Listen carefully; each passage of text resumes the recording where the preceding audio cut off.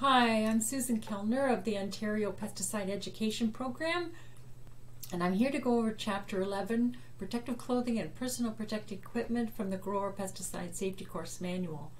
There are 21 slides in this presentation, and it will take us about 15 minutes to review. So let's get started.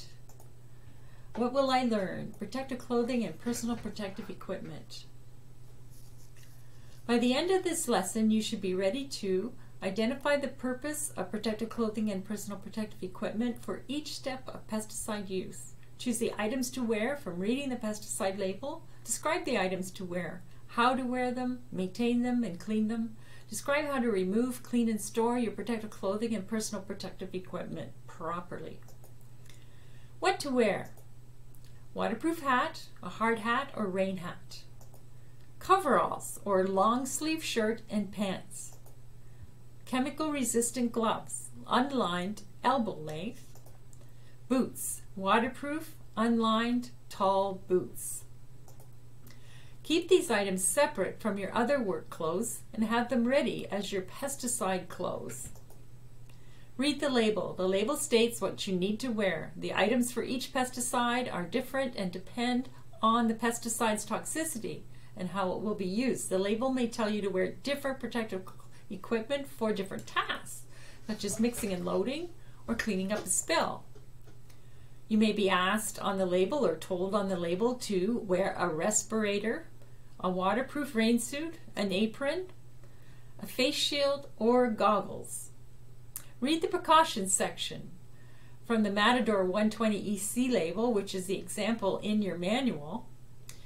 You can go down through the precaution section and we'll come to when applying this product workers should wear long pants, long sleeve shirt, and chemical resistant boots. In addition, during mixing and loading and cleanup activities, workers must also wear chemical resistant gloves, safety goggles, and a face shield, and either a respirator with a NIOSH MSHA BHSE approved organic vapor removing cartridge with a pre-filter approved for pesticides or a NIOSH MSHA BHSE approved canister for pesticides. Avoid touching face with contaminated gloves or clothing. Wash gloves before removal. Wash protective equipment with soap and water after each use. Label warnings from the Matador 120 EC label fatal, poisonous if swallowed. Okay, so uh, face shield to protect from splashes would be a good idea. Maybe fatal if inhaled. Do not breathe sprays or vapors respirator protect spray and brain force would be a good idea. May be harmful if absorbed through the skin. Hmm, disposable coveralls with a hood, boots, gloves would be a good idea. And Matador 120 EC is corrosive to eyes and skin. It's a skin sensitizer. Do not get in eyes or on skin. So again, goggles to protect your eyes. The pesticide application can be divided into stages. Preparation, you're reading the label, you're maybe uh, purchasing the protective clothing and equipment that you need. Mixing and loading, you use the pesticide in its concentrated form so a spill or splash can cause harm. Application. The protection you use depends on the equipment you're using. If you are in a closed cab with a carbon filter, you may not need a respirator inside the cab. Machinery repair and maintenance. Keep gloves, boots, and goggles available for adjusting equipment. Cleanup. Prevent splashes when cleaning out the sprayer. You may want to wear gloves and boots.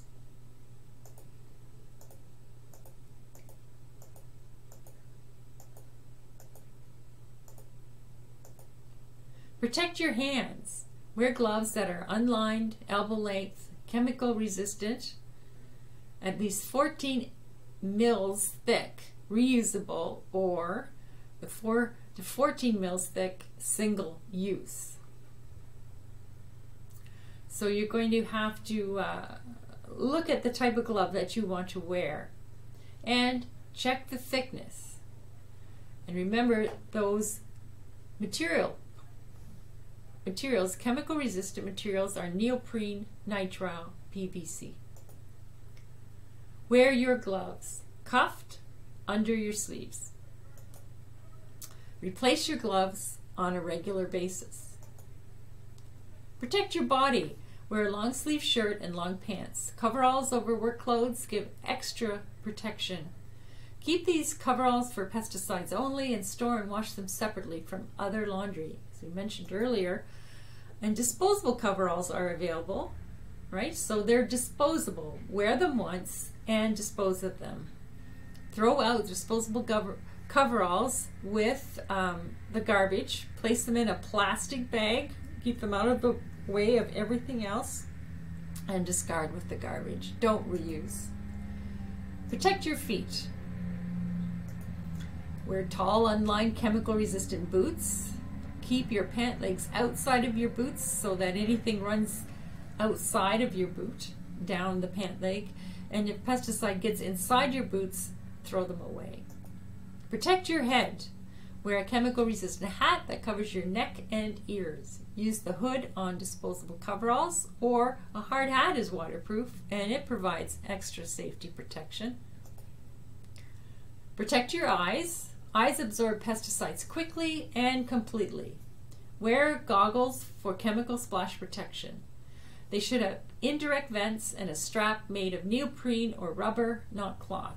Goggles fit over most glasses and don't wear contact lenses. Protect your face. Protect your whole face with a face shield. A face shield protects from splashes, fits over goggles, and some styles attached to a hard hat protect your lungs. A respirator is the unit that covers your mouth and nose to prevent small particles, spray droplets, and vapors from getting into your lungs. Three kinds of air purifying respirators. Particulate respirators, chemical cartridge respirators, gas masks with canister. Respirators are approved by NIOSH. That's a place in the United States, and they will have a TC number on them. And TC means testing and certificate number. So that's what you want to look for when you're buying a respirator. Now, the particulate respirators protect against dust, small particles, and spray droplets um, the particulate respirators do not protect against vapors. So particulate respirators are classified as N, not oil resistant, R, oil resistant, or P, oil proof. And they have an efficiency rating. It could be 95, 99, or it could be 100. So they will have a TC number of 84 a. That's when you know it's been approved. If the label states wear a dust mask, wear a particulate respirator with a minimum N95 filter. Chemical cartridge respirators. That's a respirator with a cartridge, protects against vapors. An organic vapor cartridge is the type of cartridge you need for most pesticides. TC numbers, the testing and certificate numbers for these respirators. Organic vapor cartridge, no particulate filter. You'd be buying a TC23A. Organic vapor cartridge, and uh, it has the particulate filter as well, is a TC84A. So there's the cartridge, and there's the filter. Does your respirator fit properly? If it's not fitting properly, it's not going to be working. Do a negative pressure test to check the seal each time you use it.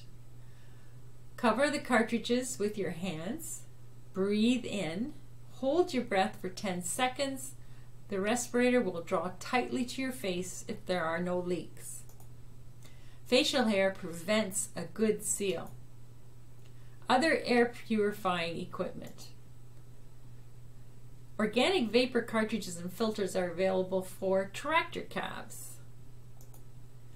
Powered air purifying respirators provide more comfortable protection. So there's um, a canister that goes around your waist, and you have air coming into the respirator. Supplied air respirators are used when outside air is too dangerous to breathe. Best practices. Talk to your local safety supply store about what you need during the winter months when you have time before you're rushed in the spring. Buy items well before you need them. Buy items for each person who handles pesticides on the farm so they fit each person correctly. Don't share items between people. Have an area where clean items are kept so they are ready when you need them. Removing and cleaning personal protective equipment. Number one, wash the outside of your gloves with soap and water first. Leave your gloves on to remove and clean equipment. Remove equipment outdoors. If using a dry formulation, shake the clothing to empty pockets and cuffs. Place clothing in a plastic bag labeled and keep them separate from other laundry. Then you're going to wash those pieces of clothing separately. With your gloves on, wash waterproof items in warm, soapy water, rinse, and air dry. Take your respirator apart, wash the harness, seal the cartridges and filters in a clean plastic bag. You can't add water to them. Wash the outside of your gloves again and hang them up to dry and store clean dry items in a storage area, not in the pesticide storage building. Now, think about how you're washing your spray clothes. Wear chemical resistant gloves to handle the clothing. You can pre soak the clothing. Do not wash with other clothing. Use hot water, the longest cycle, with detergent. Wash the clothing again. After washing, hang outside to dry. Clean the washing machine. Run the washing machine empty using hot water and detergent and no clothing. Quite a few steps for washing your clothes properly, but you don't want to contaminate any other clothing that's going to go through that washing machine. Personal hygiene when you have finished for the day, take a bath or shower as soon as possible. Wash with lots of soap and water.